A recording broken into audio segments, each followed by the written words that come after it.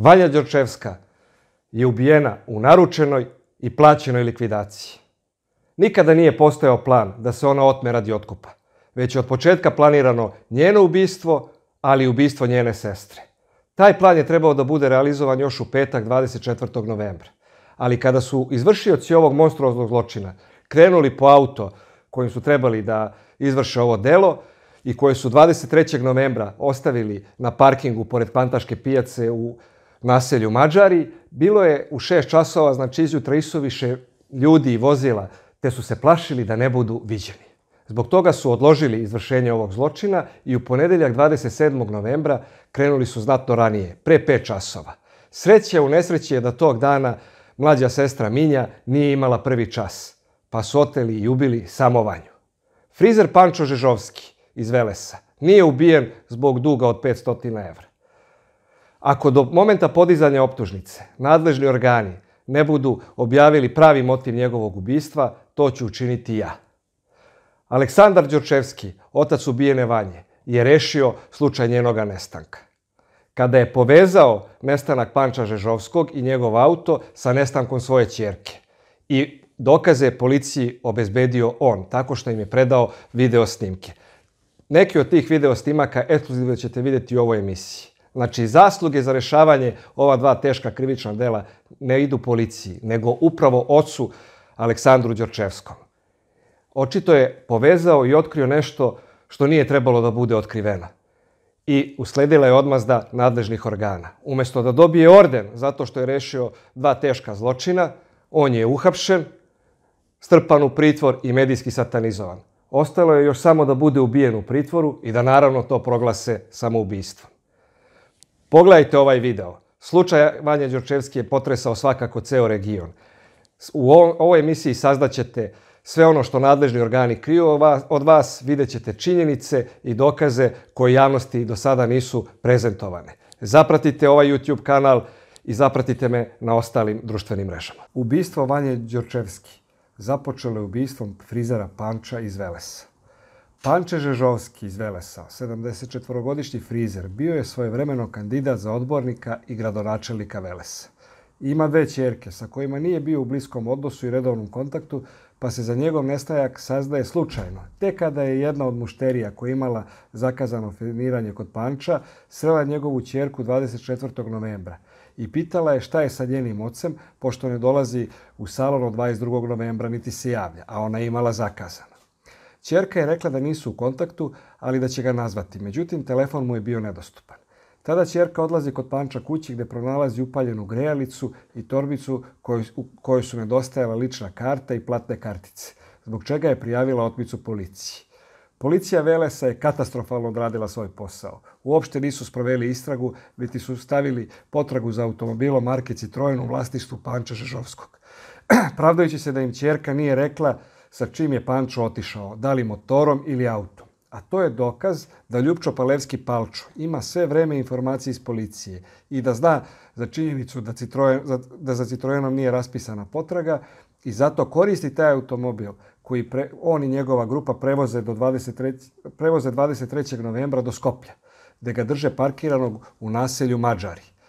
Da je policija raspisala potragu za tim autom, ne bi mogao da ne bi mogli da ga koriste, bar ne sa tim tablicama. Nalaz obdukcije Panča Žežovskog je završen, ali nije javnosti objavljen. Prema izjavama trojice uhapšenih, Velibora Maneva, Vlatka Kešiševa i Bore Vidovskog, Pančo je otet i doveden do mesta gde je ubijen i da ga je ubio i bacio u rupu Ljupčo Palevski Palčo, istog dana kada je otet 22. novembra, i to u poslepodnevnim časovima. Taj 22. novembar je sreda. Postavlja se pitanje zašto Pančo nije otvorio salon i radio tog dana, a imao je zakazane klijente. Navodno je otišao da kopa neko arheološko nalazište, čime se Pančo inače bavio. Čak je policija imala i evidentirane ove njegove nelegalne aktivnosti koje je činio zajedno sa Ljupčem Palevskim zvanim Palčo, licem osumnjičenim za njegovo ubistvo. Imate prilike da vidite ekskluzivan snimak frizera Panča, Pančeta Žežovskog sa jednim od otmičara – na benzinskoj pumpi Lukoil u Veleksu, gde je pokušao da kupi gorivo u 10.50 časova dana 22. novembra. Tom prilikom je Pančo polomio ključ od čepa rezervoara. zato što je bio vidno mnogo nervozan i nije uspeo da sipa gorivo. Psovao je i rekao, ajde idem sad na drugu benzinsku pumpu da sipam gorivo. To je čuo i otmičar u autu. Druga pumpa je Mac Petrol pumpa koja se nalazi 200 metara dalje od Lukoila. Na snimku vidite znači, da je to lice sa kojim je Pančo u društvu, jedan od njegovih otpičara, jako vodi računa da ga niko ne primeti. Kada radnik pumpe prilazi autu sa leve strane, on okreće glavu u desno, kao što možete da vidite. A kada pumpađija prilazi sa desne strane, okreće glavu u levo, što takođe vidite. Istovremeno vodi i računa da ga ne snime kamere. Sve vreme drži glavu zabačenu unazad, da ga kamera lepo ne uhvati, a prilikom odlaska sa pumpe okreće glavu desno, pošto je svestan da bi, gde se nalazi kamera i da bi mogla da ga snimi. Nepuna četiri sata posle ovog dolaska, frizer Pančo Žežovski iz Velesa ponovo dolazi na istu benzinsku pumpu Lukoil da sipa gorivo za 500 denara, nešto malo više od 8 evra goriva. Ovaj put je došao sam u 14 i 28, 14 časova i 28 minuta. Uredno je platio gorivo, kupio cigarete i upaljač i sam napustio pumpu. Ako je Pančo bio otet, kao što to tvrde trojica uhapšenih, kako onda zvanični organi Makedonije objašnjavaju ove snimke koje posjeduju? Ako je tada bio otet, zašto nije obavestio policiju ili pokušao da pobegne kada je sam došao ponovo da sipa gorivo na pumpi? Zašto je bio nervozan tog jutra? Šta je išao da kopa i sa kim? Zašto tog jutra nije došao do salona, imao je zakazane mušterije? Zašto se nikome nije javljao tog dana, niti odgovarao na pozive? Očito je da nije nestao 22. novembra preko dana, niti je bio u kući, tako da zvanična verzija nikako ne pije vodu i jasno je da osumničeni nešto kriju, a istražni organi nisu uopšte zainteresovani da otkriju istinu.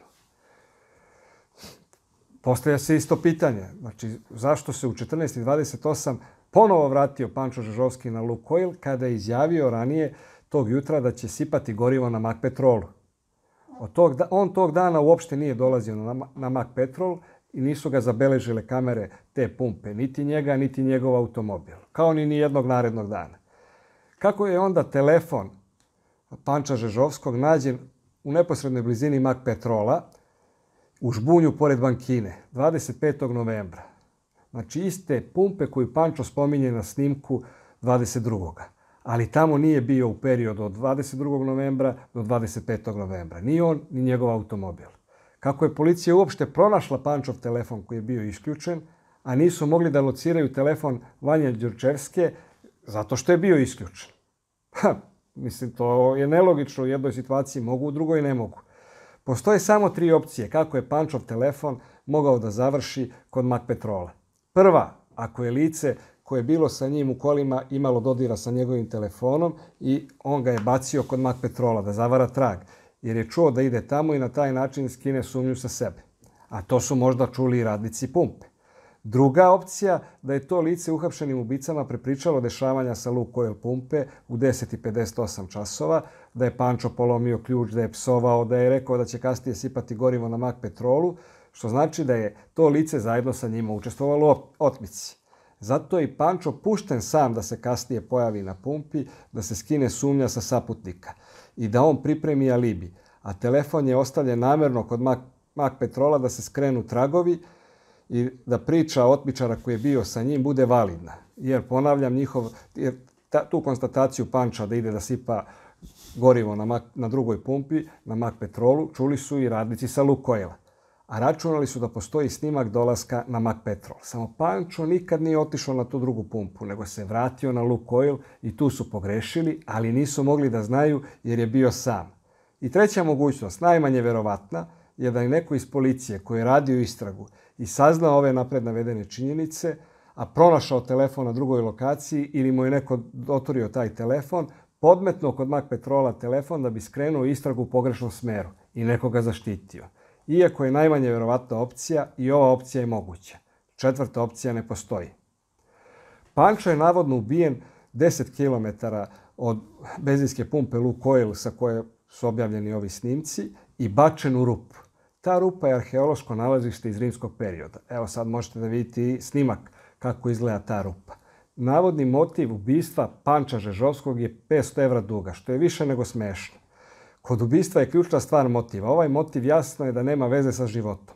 Rupa u kojoj je Pančo bačen je u stvari poslata poruka nekome koje je zajedno sa Pančom i Palčom učestvovao u iskopavanju artefakata i vrednih arheoloških iskopina. Ali u ovoj emisiji neću da se sa time bavim, sačekat ću zvanične organe Makedonije da završe istragu i tužilaštvo da podigne optužnicu. Ako oni do optužnice ne rasvetle pravi motiv, ja ću objaviti dokaze. Navodni motiv od 500 evra je vređanje inteligencije i ne pije vodu i sramota nadležnih organa da takva glupost uopšte bude saopštena. Od 28. novembra se Aleksandar Sašo Đorčevski, otac Vanje Đorčevski, bacio u potragu za snimcima nadzornih kamera, koje su mogle da zabeleže neki detalj nestanka njegove čerke. I 28., 29. i 30. novembra je sakupio više snimaka koje je prosledio inspektorima policije. I lično je Aleksandar Đorčevski povezao nestanak frizera Panče Žežovskog iz Velesa i njegovog Citroena sa nestankom njegove čerke Vanje. Policija je tek nakon toga krenula da proverava Panča i ispituje njegove bližnje. Istraga je u početku bila usmerena da je Pančo je oteo Vanju i dobili su informaciju da se Pančo navodno viđa sa nekom mlađom devojkom iz Skoplja. Tužilaštvo i policija istragu ubistva Vanje Đorčevske zasnivaju na iskazu trojice uhapšenih i osumnjičili su i Valjinog oca Aleksandra da je saučesnik ove otmice i ubistva i to zbog novca koji bi iznudili od Valjine majke Zorice. A šta je prava istina, saznaćete u nastavku ovoga videa. Zorica Đorčevska, majka ubijene Vanje, je čerka Vanča i Dominike Lazarov. Vančo Lazarov je bio direktor carinarnice Skoplje i veoma poštovan i ugledan čovek. Iako su javnost ističe da je Zoričin otac Vančo bio moćni tata, nepravedno se zapostavlja još moćnija majka. Domnik je bila uspešna i imućna žena, bila je direktor sektora u Alkaloidu i posjedovala je mnogo nekretnina, stanova, lokala, vikendica, građevinskog zemljišta i kuće. Vančo i Domnika su kupili stan u zgradi ulice Naum Naumovski Borče, broj 87, od investitora Ljupča Palevskog Palča, koji je navedenu zgradu izgradio. Preko 20 godina su Vančo i Domnike Lazarov sve do svoje smrti živeli u stanu u ulici Nauna Umovski Borče broj 87. Posle njihove smrti u stan se useljavaju Zorica, Vanja i Minja, koje prelaze u taj stan da bi bile bliže Aleksandru Đorčevskom. Taj stan u kome su do svoje smrti Vančo i Domnika Lazarov živeli, nasleđuje čerka Zorica, a ona ga prepisuje na svog bivšeg supruga Aleksandra Đorčevskog. Zorica, Vanja i Minja Đorčevski su do pre četiri godine živele u stanu koji se nalazi u podnožju planine Vodno, naselje Kapištec. Taj stan je kupila Domnike Lazarov od akcije Alkaloida koje je prodala na Bersi. I to ga je kupila na ime svog zeta Aleksandra Đurđevskog, a ne na ime čerke Zorice. Ovaj stan je u medijima naveden kao motiv otmice, odnosno novac od njegove prodaje. Međutim, taj stan nije prodat i isti se i dalje vodi na Aleksandra Đurčevskog. Jedini stan koji je prodat, i to pre dve godine, je stan na sedmom spratu pored železničke stanice i koji se nalazi u zgradi bez lifta. Taj stan se vodio na Zoricu Đorčevski i veći deo tog novca je potrošen na putovanje u inostranstvo. A od tih para je Zorica kupila i novi automobil marke Mitsubishi. Aleksandar Đorčevski je sin Zorana i Ivanke Đorčevski. Zoran Đorčevski je bio direktor ogromne i uspešne firme Interimpex. Bio je najpre predstavnik Interimpexa u Poljskoj, a potom i generalni direktor te kompanije u Makedoniji. I danas je mnogo imućan čovek koji posjeduje kuću u Kučkovo 300 metara kvadratnih, vikendicu, građevinsko zemljište i stanove poput stana u naselju Đorče Petrovo od oko 100 kvadratnih metara. Na svog sina Aleksandra je prepisao jedan stan gde sada Aleksandar živi sa svojom majkom Ivankom površine 105 metara kvadratnih.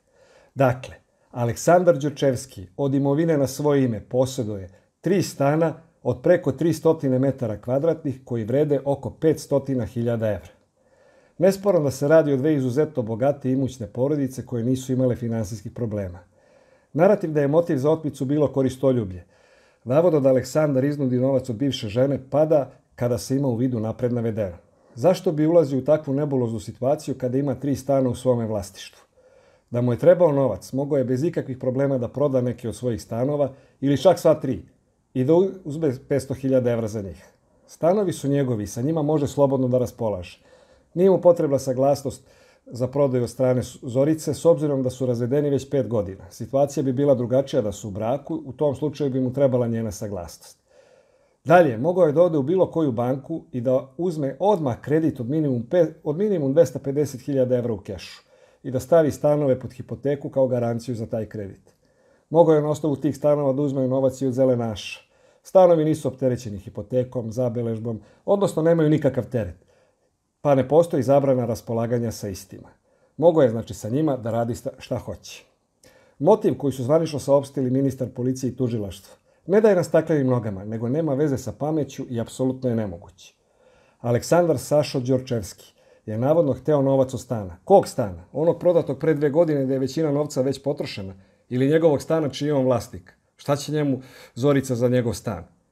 Ne zna se koji je nelogičniji motiv. Da li onaj navodni za otmicu Vanje Đorđevski ili onaj za ubistvo frizera Panča zbog 500 evra. Ni trećerazredni film, filmovi se ne snimaju sa ovakvim pričama.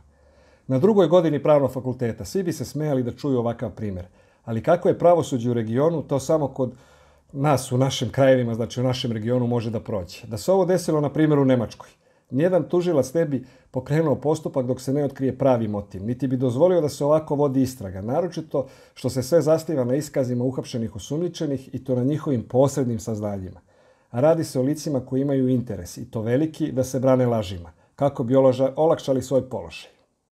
Otmicu priznajem, ubistvo ne priznajem. Sarađujem, za otmicu nema ni suđenja pošto su priznali, dao sam ti ko je izvršio ubistvo, ludi palčo i preporučuju se za osuđeno kao svedok. Znači, umesto maksimalne kazne za učešće u ubistvu devojčice i frizera Panča, oni pokušavaju da obezbede daleko manju kaznu za učešće u otmici i navodnu kooperativnost.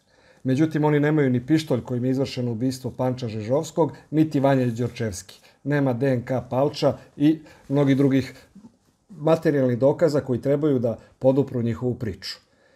Medijski se plasira da je Aleksandar Đorčevski bio alkoholičar, narkoman i kockar. Međutim, istina je da se Aleksandar Đorčevski nije kockao, nikad nije pio alkohol i posljednjih 30 godina nije koristio nikakav narkotik. Ove činjenice su lako proverljive. Istina je da je razlog razvoda Zorice i Aleksandra nije bila ni droga, ni alkohol, ni kocka. Kao i da je razvod tražio Aleksandar, dok Zorica nije htela da se razvede, što najbolje potvrđuje njena izjava data policiji 27. novembra da je Aleksandar idealan otac. Da je Aleksandar Đorčevski bio alkoholičar, narkoman i kockar, ne bi sigurno Zoričini roditelji, ali i sama Zorica, prepisivali imovinu na Aleksandra i to posle njihovog razvoda. Oni danas ima ključevi pristup svim Zoričinim nekretninama, koje slobodno koristi sa decom. Da je alkoholičar, kockar i narkoman, ko bi mu dao ključevi pristup? Mogao je da pokrade dragocenosti nakitu metinine, ali nije. Nikad nikakav takav problem nije bio među njima i bivši supružnici su bili u izuzetno korektnim odnosima. Takođe, takav narativ da je Aleksandar Đorčevski bio kockar, alkoholičan i narkoman, koji organizovao otmicu ćerke zbog ubistva, ruši i njegov zbog, koji organizovao otmicu ćerke zbog dugova, ruši njegov odnos sa svojom decom. Obe ćerke bile su vezane za oca, koji je svaki trenutak svog vremena posvećivao njima i one su bile centar svih njegovih životnih aktivnosti. Taj odnos pokazuje i školski rad pokojne Vanje na temu blagodarnosti, zahvalnosti, koje je posvetila svom ocu, kome je najviše zahvalna i kome se najviše divi, o čemu je javno govorila njena nastavnica. Kao otac troje dece, čerke i dva sina, ne mogu da zamislim da nekom ocu padne na pamet da tako nešto priredi svom detetu, da mu napravi takvu traumu. Upravo zbog toga se plasira takav narativ o probisvetu punom poroka, koji je kockar, narkoman, pijanac, jer u svesti naroda je da takvom čoveku ne možeš verovati i da bi takav čovek učinio sve da dođe do svojih poroka. Što nije istina, jer u ovom konkretnom slučaju otac Vanja Đorčevski niti je kockar, niti je alkoholičar, niti je narkoman. Mediji kažu da je nestanak Vanja Đorčevski prijavila majka i da je otac išao da prijavi nestanak da bi skinuo sumnju sa sebe i da je već tada znao da mu je čerka mrtva. Pa to potpuno nije tačno. Da li se nestanak osobe prijavljuje telefonom ili lično? Da li policija raspisuje potragu Interpolu u poternicu na osnovu telefonskog poziva ili lične i svojeručno potpisane prijave? Pa naravno, na osnovu lične potpisane prijave. Majka devojčice, Zorica, je 27. novembra u 8 časova i 36 minuta telefonom pozvala broj hitne pomoći da proveri da li je eventualno Vanja u bolnici, da bi je hitna pomoć posle provere uputila na policiju. Otac devojčice Aleksandar Đorčevski je lično u stanici policije tog 27. novembra u 11 časova prijavio da je, isto, da je istog dana oko 7.27 časova njegova maloletna čerka izašla iz stana i krenula u osnovnu školu Johan Heinrich Pestola, Pestoloci. Znači, prvu jedinu zvaničnu prijavu je podneo otac, a ne majka kao što mediji navode. Majka je zvala hitnu pomoć, a otac je bio u policiji i zvanično potpisao. Zvanični organi prihvataju narativ iz iskaza osumnjičenih koji kažu da su oteli Vanju zbog para, da su planirali da je drže 10 dana, pa tek onda da pozovu za otkup kad se situacija malo stiša. Kako je moguće da ova priča prođe kod iskusnih policajaca? Verujem da najiskusniji inspektori rade na ovome slučaju, ali čak i da rade najgluplji i najneiskusniji ljudi. Kako je moguće da nisu pitali osumnjičene zašto su odveli Vanju na livadu? Kakvu crnu livadu? Valjda bi je odveli u pripremljeni štek. Gde su planirali da je drže minimum tih 10 dana? Zašto nisu odmah otišli u objekat planiran za to? Ko bi je čuvao u tom periodu? Gde su zalihe hrane i vode za taj period? Za, zašto su poneli lopate, ašove i benzin u kolima, ako je u pitanju otmica? Nesporna je činjenica da su osumničeni kupili benzin u 5 sati ujutru 27. novembra, znači na dan otmice, na Mak Petrol pumpi u bulevaru Kuzmana Josifovskog Pitu, broj 6, blizu sedišta partije Desna, Ljubčeta Palevskog Palča. Drugo, koja otmica funkcioniše na taj način? Dajte mi neki sličan primjer u svetu da se čeka 10 dana pa da se kontaktira porodica za otkup. Obično se odmah po otmici to obavi i upozori se porodica da ne meša policiju. I gleda se da se otmica što pre završi, jer svaki dan duže povećava drastično kako rizik, tako i troškove. Da li je iko ikada tražio novac za otkup od majke, oca ili bilo kog drugog člana porodice? Nije. Da li postoji bilo kakav materijalni dokaz za te tvrdnje sem izjava ubica? Ne postoji. Da li postoji bilo koji slučaj u svetu da su otmičari ubili žrtvu pre nego što su pokušali da naplate otkup? Ne. Čak i da je dete mrtvo, otmičari bi pokušali da izvuku novac.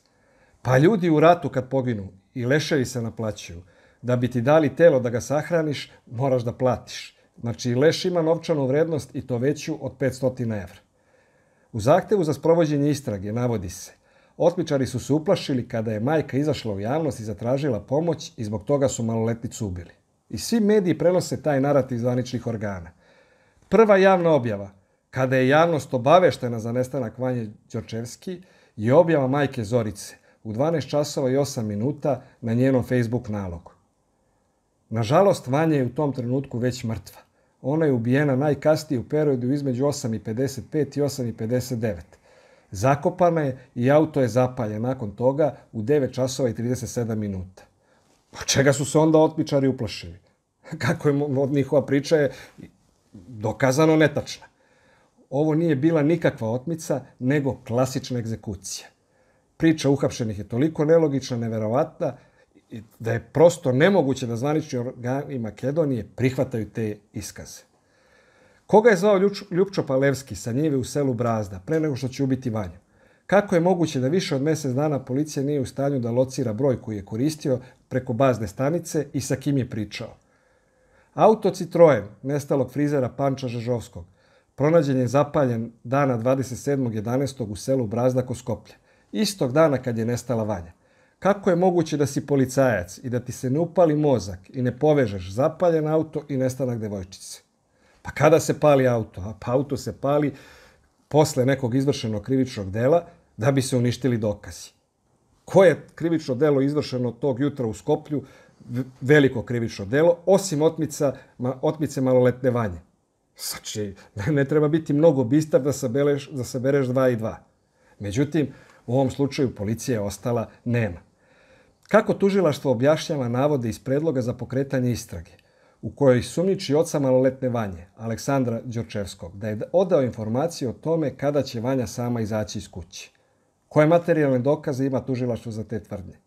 Kako su nesumnjivo utvrdili da je Vanja bila meta otmičara? Aleksandar i Zorica Đorčevski imaju dve ćerke, pokojnu Vanju i Minju. Zašto bi otac žrtvovao Vanju, a ne Minju? Kako su to utvrdili i kojim dokazima to potkrepljuju? Obe su išle uvek zajedno u školu.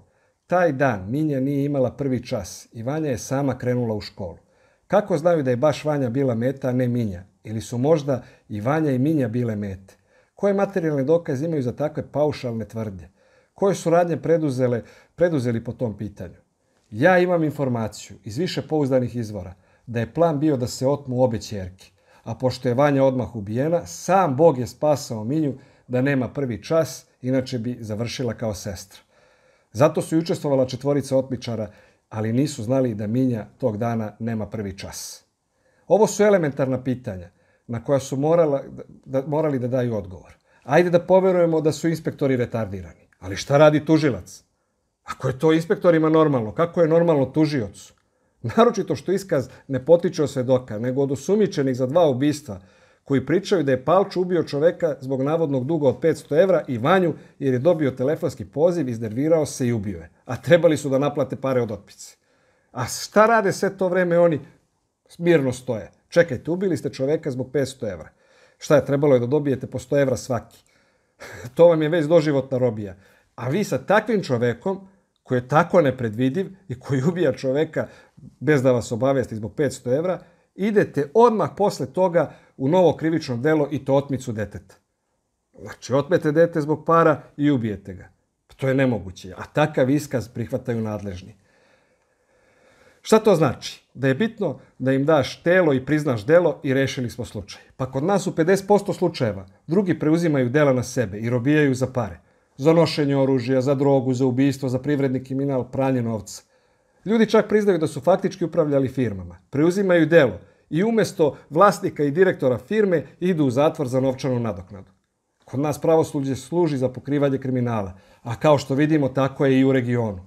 Da se ovo desilo u, na primjer, Nemačkoj, da dođe neko i prizna delo, kaže gde je telo, opet bi morao da objasni način izvršenja i motiv, da kaže gde je oružje kojim je delo izvršeno. Ako ne zna kako je pucao, gde je stajao, ne, ne zna uh, ulaznu ranu, njegov se iskaz ne slaže sa obdukcionim nalazom, vremenom smrti, rekonstrukcijom, dokazima, niti se poklapa motiv, ne postoji nikakva veza između njega i žrtve, policija ne prihvata takav iskaz, niti se pokreće postupak na osnovu takvih izjava bez materijalnih dokaza.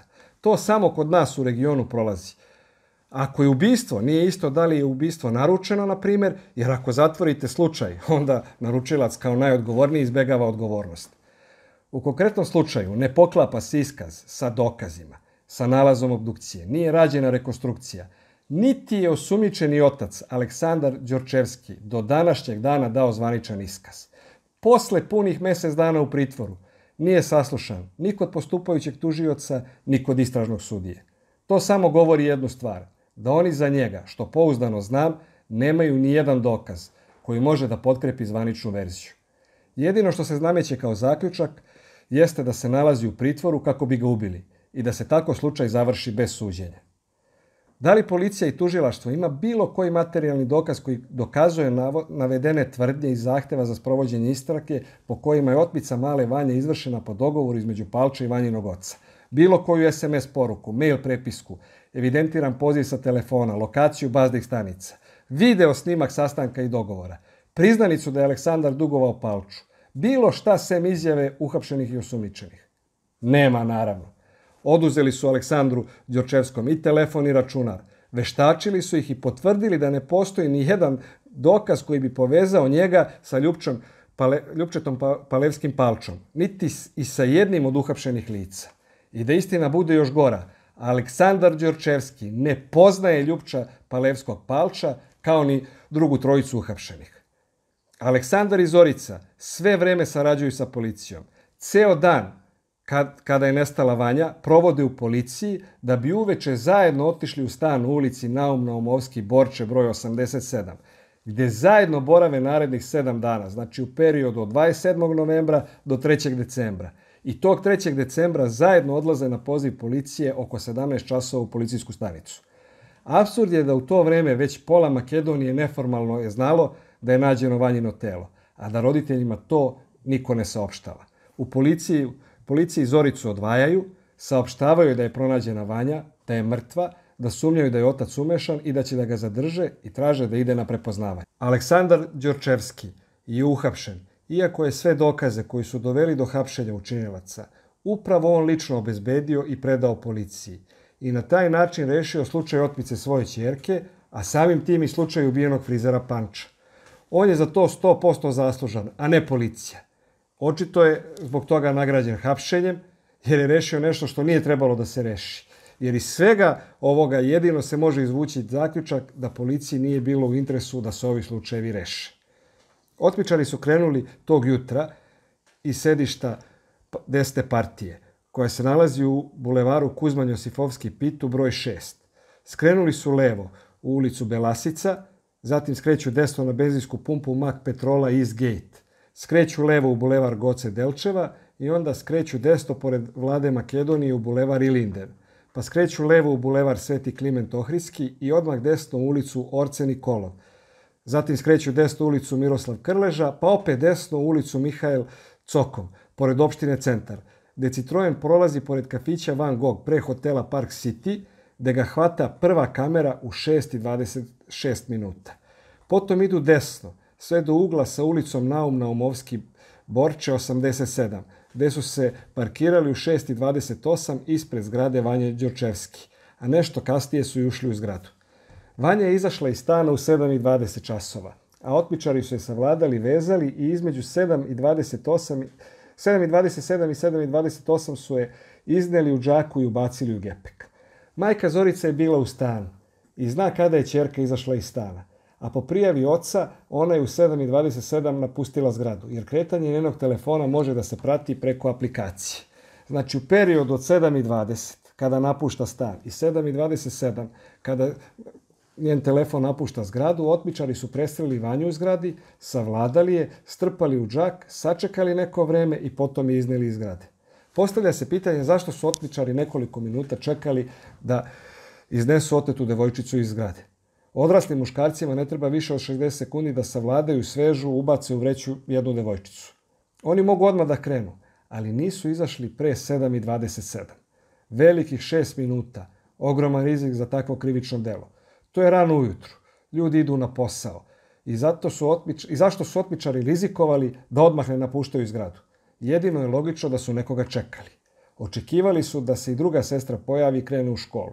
To potvrđuje informacije koje sam dobio da je planirano da se otmu i ubiju obe sestre u naručenoj likvidaciji. Otmičari su čekali do zadnjeg momenta, znali su da pre 7.30 moraju da se udalje od zgrade, jer bi škole alarmirali da devojčica nije došla i kad su vidjeli da sestra nikako ne silazi, u 7.27 napuštaju zgradu, ubacuju vanju u gepek, sedaju kola, pale auto i kreću. Iskreću desno u ulicu Naum Naumovski Borče da ih hvata druga kamera iz frizerskog salona preko puta zgrade u 7.29 minuta i 28 sekundi. Vreme na kameri koje vidite nije tačno jer sad brza 5 minuta. Čim pređu raskrsnicu sa ulicom Orce Nikolov, hvata ih treća kamera iz kafića Sindikat. Zatim ulaze u kružni tok i nastavljaju istom ulicom E, znači to je 7.30 časova i 5 sekundi, skreću desnu ulicu Lenjinovu, ulaze u bulevar Partizanski odredi, gde ih najpre hvata kamera 4 iz Lukojla, a potom i kamera 5 iz Ribarvice. Sve ove snimke je Vanjin otac dostavio policiji.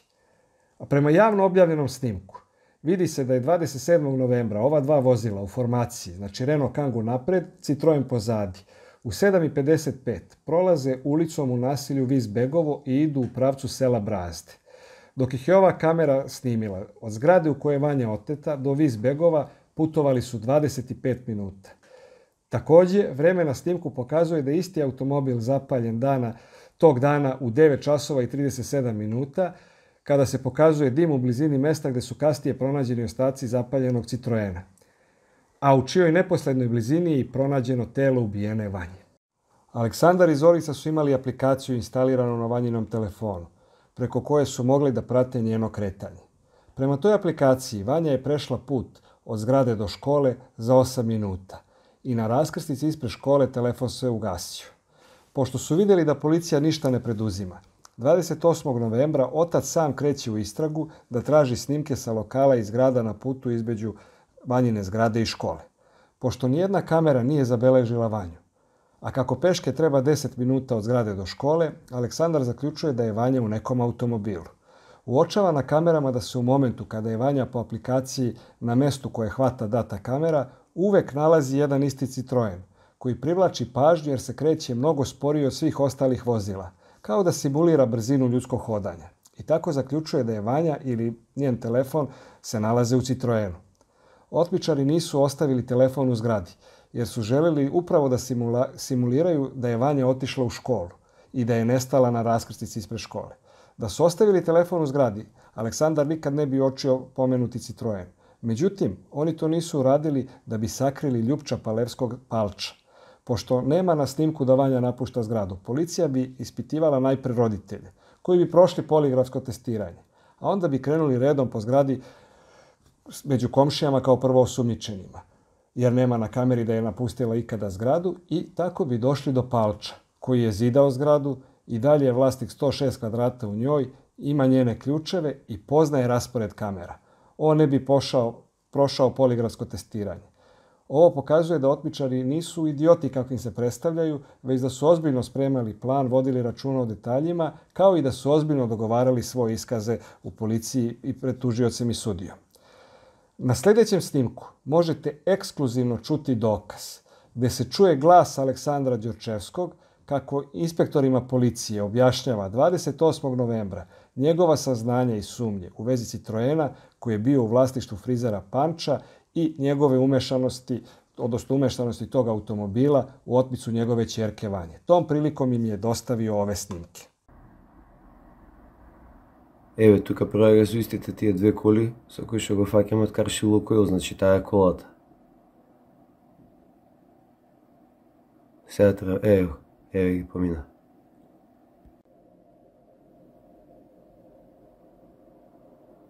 Еве го последен застана од страна. Се враќа Рикверц. Он позастануваше предходно на Лукойл. И сега се предстројува во... Може и право да иде. Еве го се предстројува позади во Берлин голи, што е, не знам. И продолжува. Ова е од кај Папилон од Карши. Карши Бонјаковец. Александар Đorčevski е чак дао полиција информацију да е полиција pronašla taj zapaljeni Citroen 27. novembra i tek onda se policija pokrenula da traži taj auto preko sistema kamera Safe City. Pa su videli da uvek u Citroen ide ispred ili iza vozilo Renault Kangoo. Vrlo brzo su locirali vlasticu tog vozila i ona im je rekla da je taj auto pozajmila političkoj organizaciji Desno Ljubča Palevskog Palča. Sve im istog sekunda bilo jasno. Ljubčo Palevski Palčo zidao je pre 25 godina zgradu iz koje oteta Vanja. Njegova firma UPA Enterprise je vlasnik 106 kvadrata prostora i podruma u toj zgradi, ima ključeve zgrade, poznaje raspored kamera. Palčo poznaje Panča, čak su zajedno i evidentirani u policiji zbog nelegalnog iskopavanja arheološkog blaka.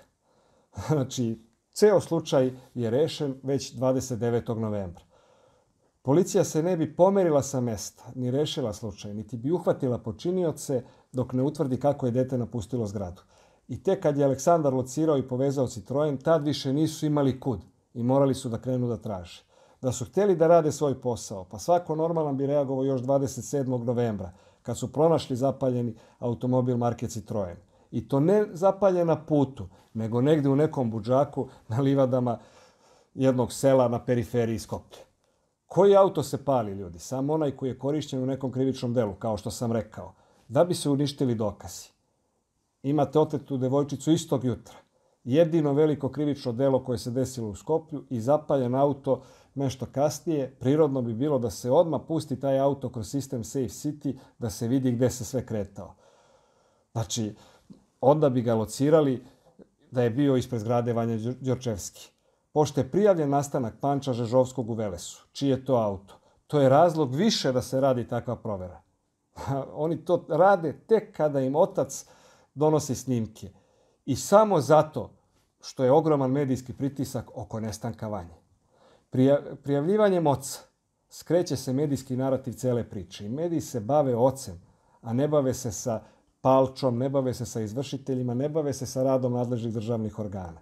Ako je otac naručilac, onda je on i organizator. I Palčo, na primjer, može da bude svedok saradnik, da sklopi sporozum sa tužilaštvom.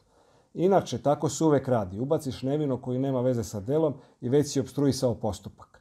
Ubacivanjem oca oni su to već postigli. Otupljena je optužnica, nema teoretske šanse da optužnica stupi na pravnu snagu bez jednog jedinog dokaza protiv oca, a samim tim ni protiv svih ostalih osumnjičenih. Palčo neće biti isporučen pre podizanja optužnice, neće biti isporučen ni do kraja ove godine.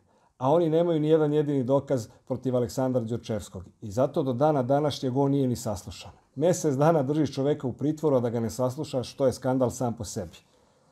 A nije saslušan zato što bi odmah posle toga, zbog nedostatka dokaza, morali da ga puste. Policiji odgovara hapšenje oca Vanja Đorčevske Aleksandra iz drugog aspekta. Kako bi oni da priznaju da je otac sve rešio? I nestanak Vanje Đurčevski i Panča Žežovskog. Pa onda su oni kompletni idioti. Ogolili bi sebe da ništa ne rade. Morali bi medija, medijima da objašnjavaju kako je moguće da ništa nisu uradili, da je sve otac rešio i onda im je ovako jednostavnije. Sve svale na oca, tri muve jednim udarcem. Utišaš medije, utišaš narod, otupiš interesovanje javnosti, prebacuje smržnju na oca. Ceo sistem u Makedoniji se uplašio, jer je u kratkom vremenskom periodu preko 50.000 ljudi potpisalo peticiju za uvođenje smrtne kazne. I umesto da ispadneš nesposoban, možeš da prijavlje, prikazuješ kako je policija rešila slučaj i pokupiš lovorike, zasluge i političke poene.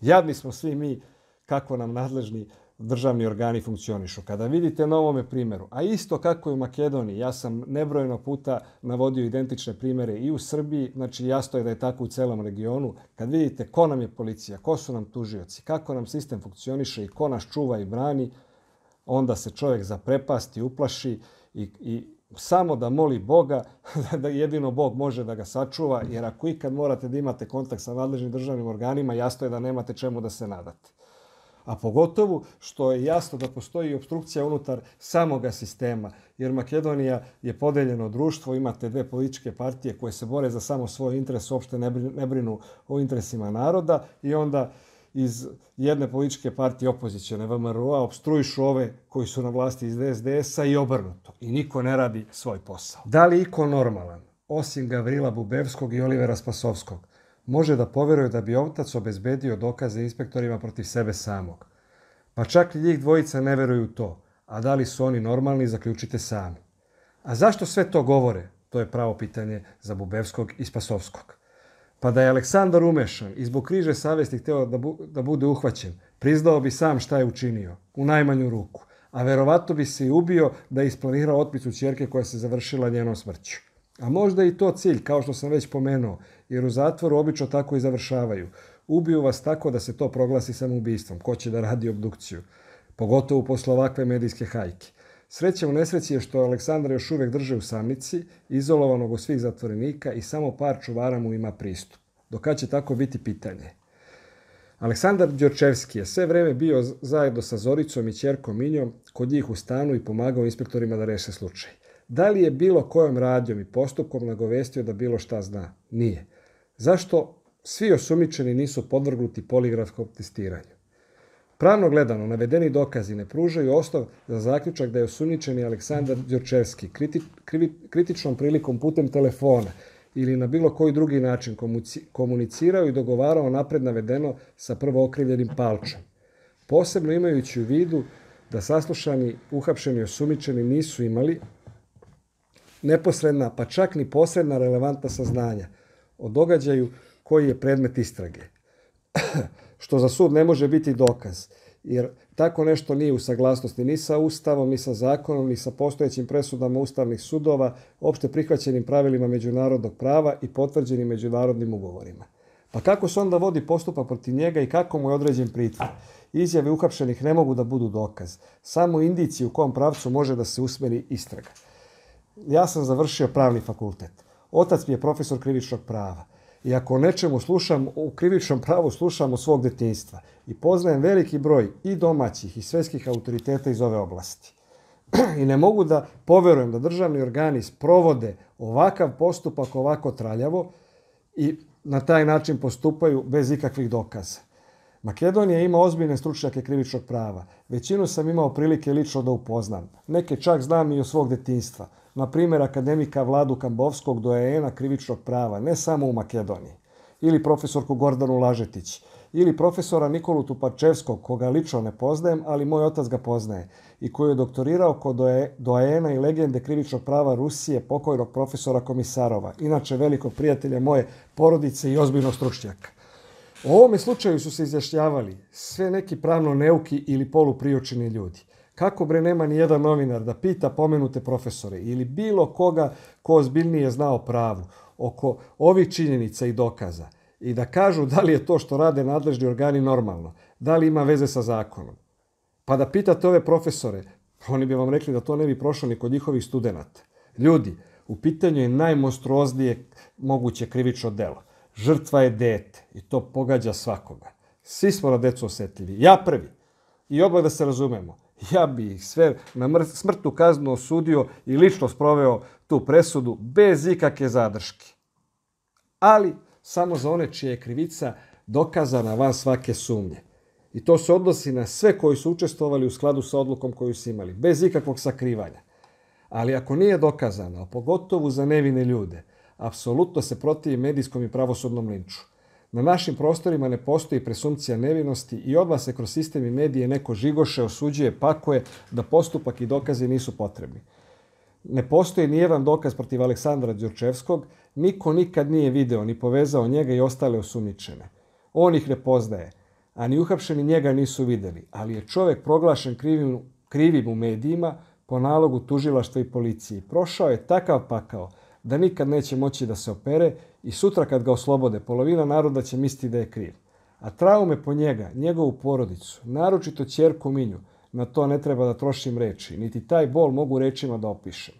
I ako sam na nešto alergičan, alergičan sam upravo na takve situacije. I uvek sam do sada i u Srbiji u sličnim prilikama. Znači, kad god je neko žrtva nepravde, dizao svoj glas. Pošto je ovaj slučaj toliko pažnje izazvao u Srbiji, mogu samo da zamislim kolika je tek pritisak i kolika je pažnja u Makedoniji, zato sam i odlučio da ukažem na identičan način i identičan obrazac ponašanja državnih organa u Makedoniji kao i u Srbiji. Znači, ovde caruje nepravda i ovde krivični postupak, pravosuđe, tužilaštvo i policija ne služe za rasvetljavanje krivičnih dela, već upravo za njihovo sakrivanje i prikrivanje.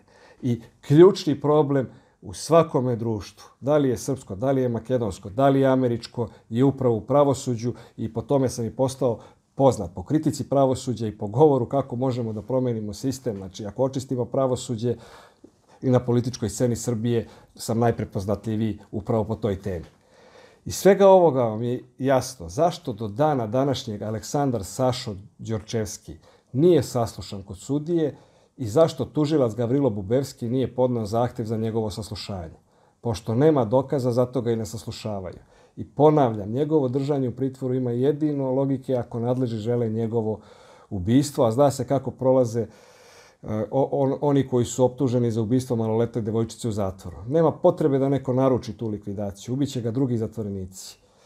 Znači, sreća u nesreći je da ga drže izolovanog u samnici, od svih zatvorenika drugih, znači je sklonjen izolovan i samo par čuvara mu ima pristup. Dokad će tako biti pitanje? Kao što i pouzdano imam informaciju da je prvog dana pretučen u zatvoru Šutka. Iskaz osumničenih je kao servirani švedski sto. Imate veliki izbor jela, za svakog da se nađe po nešto. Da li ste vegetarijanac, da li volite meso. Ili možda ribu, ili testenine. Možda postite. Svakako možete da birate i sigurno će se naći nešto da stavite u tanjir. Oni su rekli toliko kontradiktornosti i toliko gluposti, da ja evo moram direktno da pitam dva genijalca. Najodgovornijeg tužioca Gavrila Bubevskog i ministra policije Olivera Spasovskog. Jeli bre, kako ste vas dvojica sa tog švedskog stola odabrali baš ono što vama odgovara? Znači, od tolikog izbora vi ste u tanjer, jel te, izvukli baš ono što je javno, jel tako, proglašeno kao zvarični narativ istrage.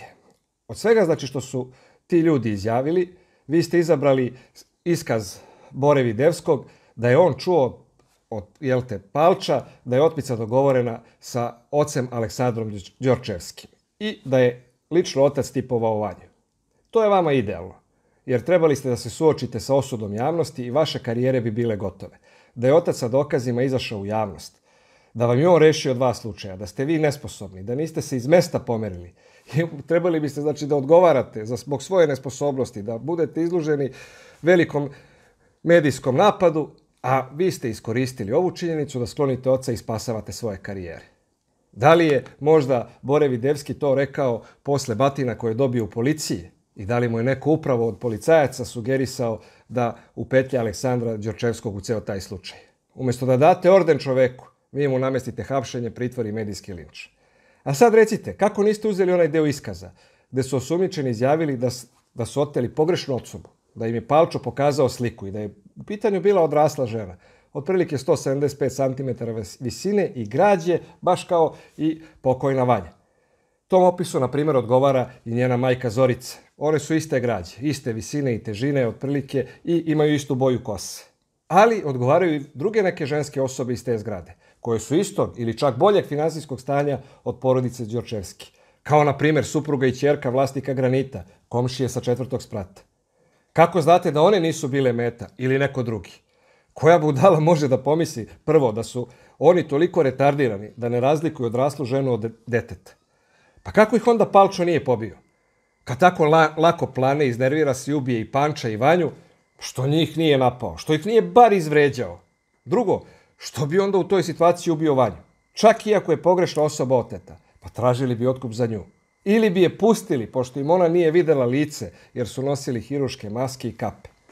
Šta vama tako pametnima govore navod iskaza da su trebali još u petak da izvrše otmicu, ali su morali da odustanu, jer su parkirali vozilo kod kvantaške pijace u naselju Mađari i uplašili su se kad, da pokupe taj auto, da ih neko ne bi video, zato što je u 6 časova ujutru kad su krenuli bilo iso više ljudi i iso više vozila.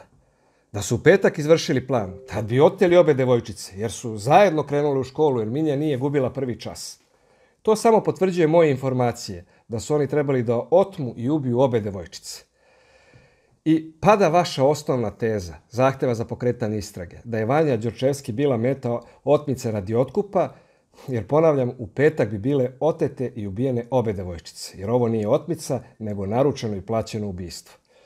Prema iskazima osumičenih, Palčo je pričao minut na telefon, znači u selu Brazde kad su je doveli, prišao je Vanji, pitao je kako se zove. Devojčica mu odgovorila Vanja. Potom je pitao za prezime i ona mu je rekla Đorčevski. Palčo onda vadi pištolj i pucao je kroz jastuk u glavu. I odmah neko poziva ponovo telefonom. Da li to vama liči na grešku? Da li to vama liči na otmicu? Prvo, ko bi oteto dete doveo na livadu, a ne u objekat u koji je planirao da drži oteto dete? Zašto bi je pitao kako se zove? Znači, ako su oteli pogrešnu osobu, vidi da je pogrešna osoba, šta ga briga kako se zove. A ako su oteli pravu osobu koju su tipovali sa tatom Aleksandrom, kako vi to navodno tvrdite, onda nema potrebe da je pita, zna ko je.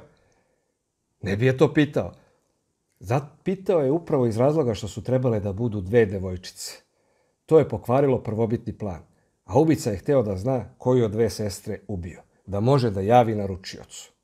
Ako je plan bio otmica odrasle žene i ako su greškom oteli vanju, jer nisu očeli da se radi o detetu, su stvarno kompletni idioti. Što je, ne, priznaćete, nemoguće, ne bi ni došli u tu situaciju da izvršavaju tako teško krivično delo, ranije bi pali na nekom lakšem.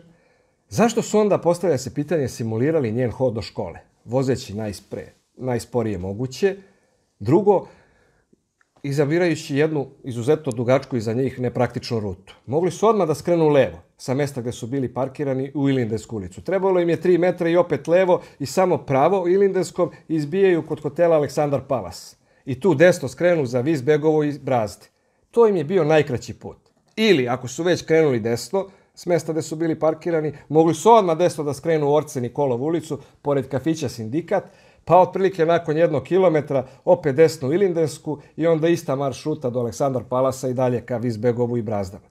To su daleko, znači, brži, kraći i sigurniji putevi za njih. Ali oni su ovako išli 5 km dužim putem.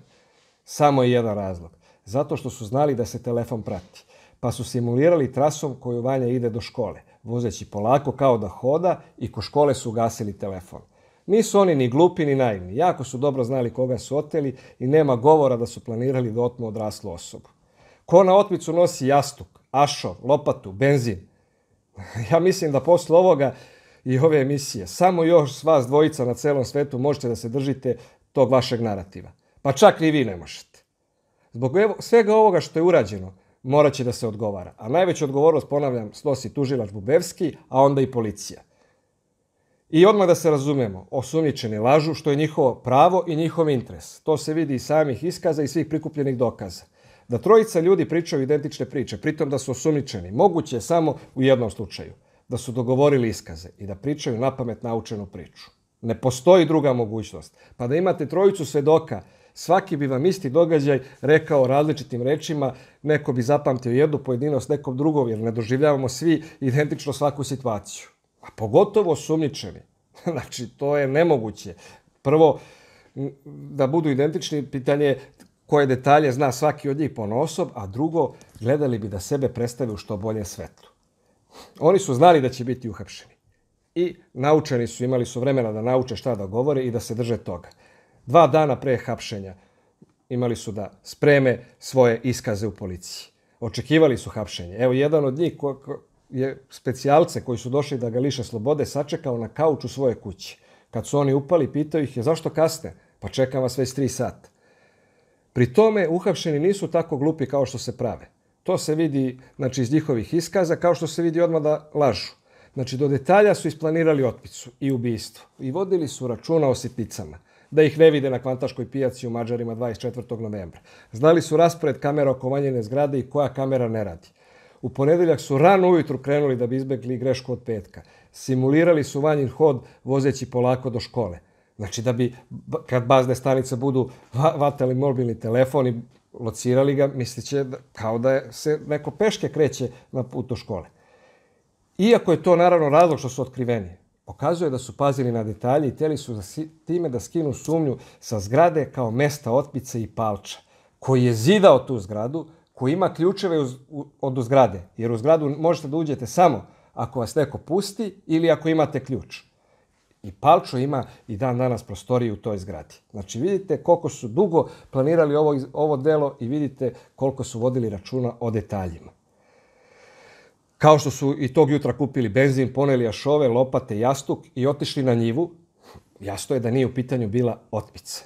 I kako onda može Palevski da im kaže da će svakako dobiti pare posle ubistva Vanje? Pa od koga da dobiju pare ako je otpica? Pare nisu naplatili, nema šanse da ih dobiju kad su ubili dete. Znači, nije bila otpica, već će pare dobiti od naručioca ubistva, a to je osoba sa kojom je Palčo pričao telefonom pre i posle Valjinog ubistva. Da li je moguće da vi više od mesec dana ne možete da locirate broj koji je Palčo koristio 27.11. na njivi u selu Brazde i broj sa kojim se čuo? Preko baznih stanica za dan ste to mogli da utvrdite. Pa nema 5000 telefona u selu Brazde, mislim, nema više od 50. Pola policije i tužilaštva su već 29. novembra znali da je u nestanak Vanje umešan Ljubčo Palevski. Preko auta Renault Kango koji je dat na korišćenje njegovoj partiji desno. 30. novembra to već zna cela policija. Sve to vreme ne hapsite Palča, nego ga puštate da pobegne. A paralelno sa tim, tog 29. i 30. novembra, policija koja zna za Palča i ne dira ga, pokušava da nađe nekakvu vezu između Palča i Aleksandra. Znači, ljudi, ovo je pouzdana informacija iz istrage. I svi jako dobro znaju da ovo što govorim je tačno. Ima častih i poštenih ljudi koji savjesno rade svoj posao i žele da se utvrdi istina, ali su im ruke vezane jer najodgovorniji to ne žele. Već im je upravo interes da se istina ne utvrdi i nekoga kriju. Ovim putem se javno zahvaljujem tim častim i hrabrim pojedincima. Znači, pazite sad, niko nije uhapšen, ni Palčo, ni ostala trojica njegovih sa izvršilaca i pomagača. Znači, otkud onda policija istražuje veze Palča i Aleksandra? Zvanično, znači onih oca hapse zbog iskaza jednog od uhapšenih, znači karatiste Bore, koji su uhapšeni tek, znači, oni su sva trojica uhapšeni tek 1. decembra. I tučeni su dok nisu, jel te, priznali i tek 2. decembra se objavljuje hapšenje. Znači, tužilac i ministar moraju da daju odgovor na ove navode. Jer 29. i 30 ne postoji, znači, ni, ni, nisu uhapšeni, nisu dali is, is, iskaze, ne postoji nikakva veza između Aleksandra Đorčevskog i otmičara njegove čerke, ali policija već proverava u tim danima da li postoji nekakva veza između Palča i oca Aleksandra, a ne hapsi samoga Palča.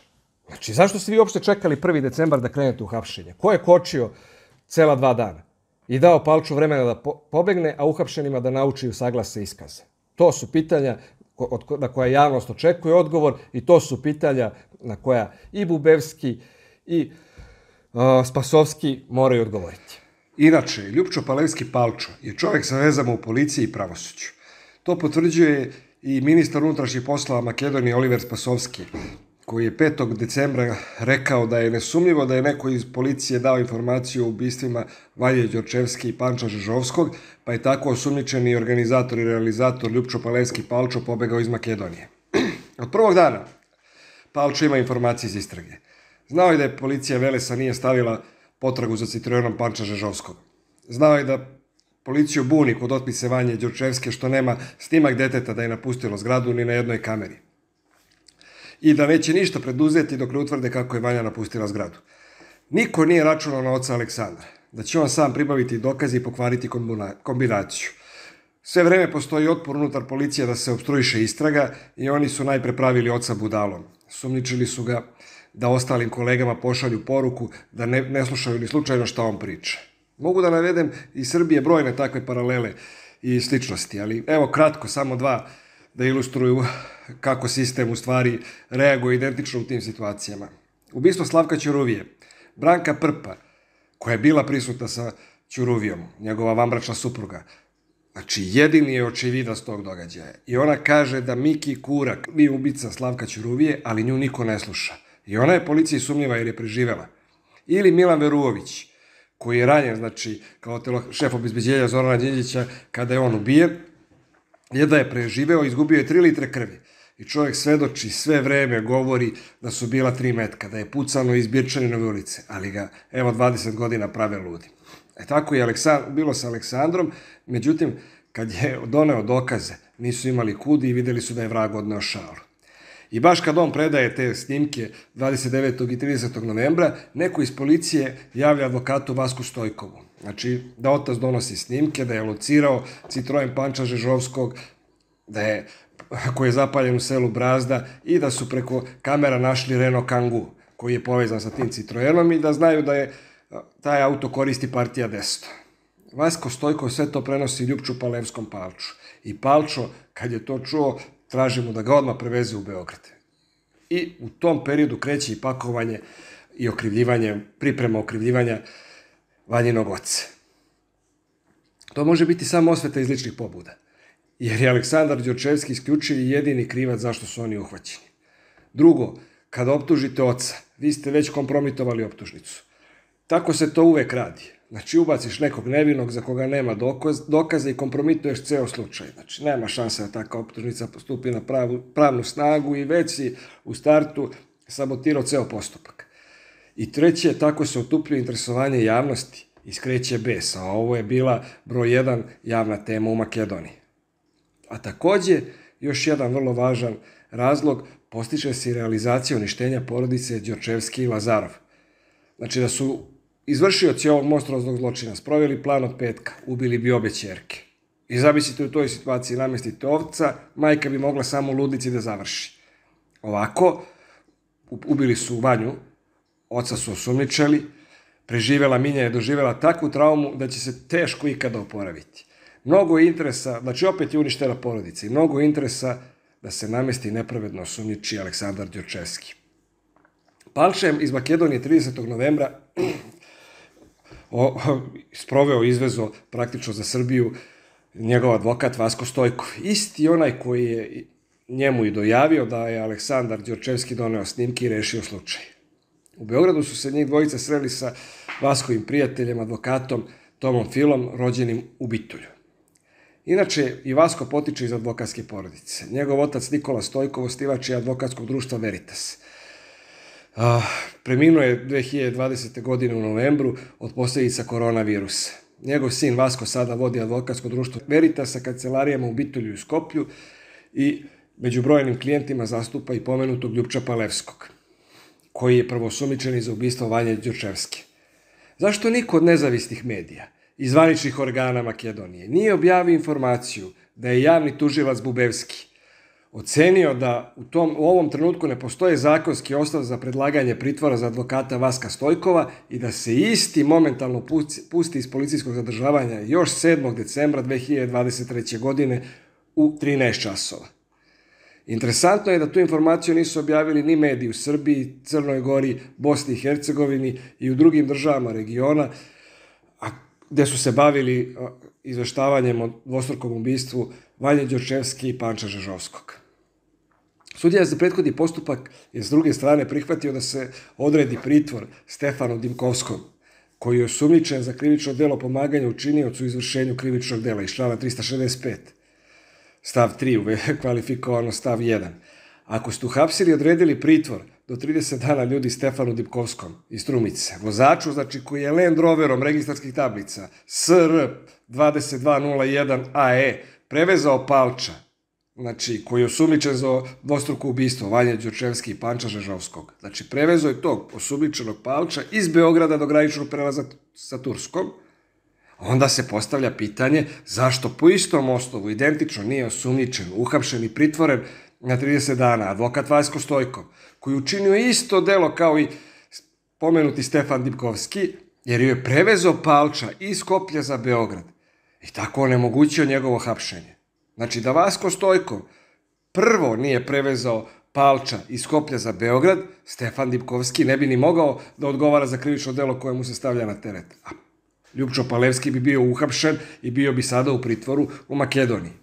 Zbog mnogobrojnih propusta makedonske policije i tužilaštva, postoji mogućnost da Ljubčo Palevski Palčo dobije politički azil u Turskoj ili da bude ubijen u pritvoru.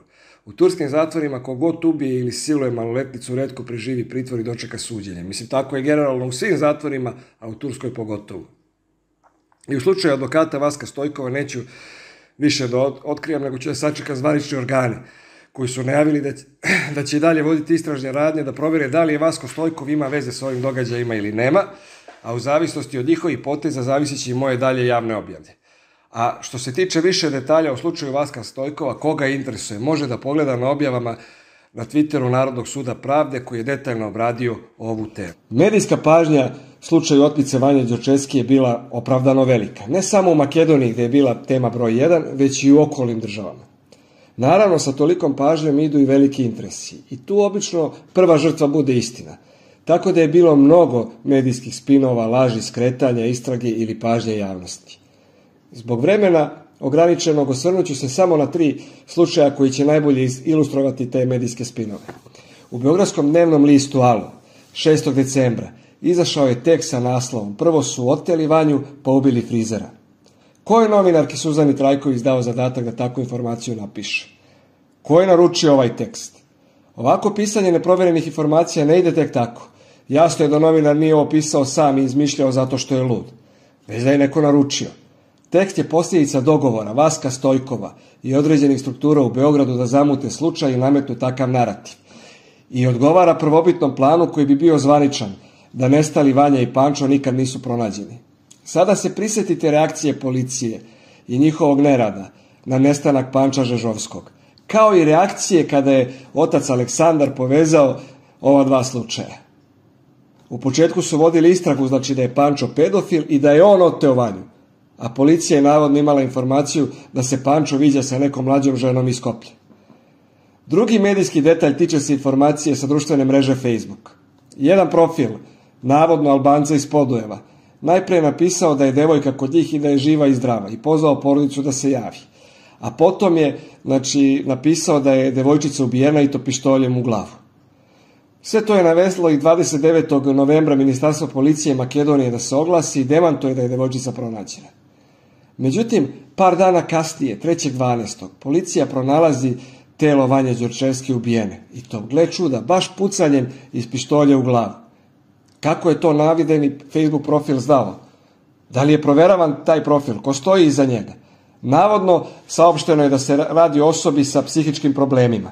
Može on da bude lud koliko god hoće, ali sve do momenta kada je pronađeno telo devojčice ubijeno baš onako kako je opisao taj Facebook profil. Kako je to mogao da zna i komu je rekao? I što je to plasirao u javnost? To mora da se istraži i mora da se utvrdi.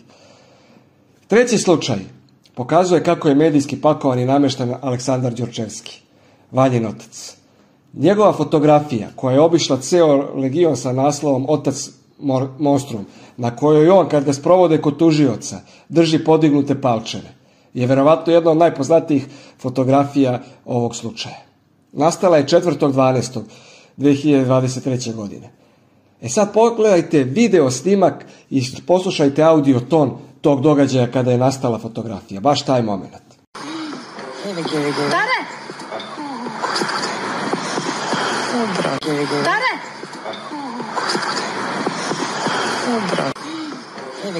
Tare! Tare!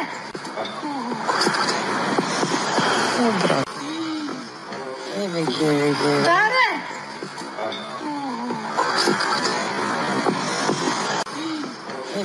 Tare!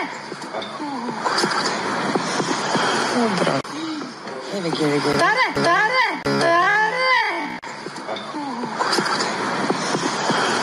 Kao što ste mogli da vidite i čujete, Aleksandar Đorčeski, koji je prenoćio u policijskoj ćeliji, jer je prethodne večeri lišen slobode i koga u tom trenutku izvode kod tužioca, čuje da ga doziva ženska osoba rečju dade, instinktivno pogleda i podiže prst, palčeve u vis.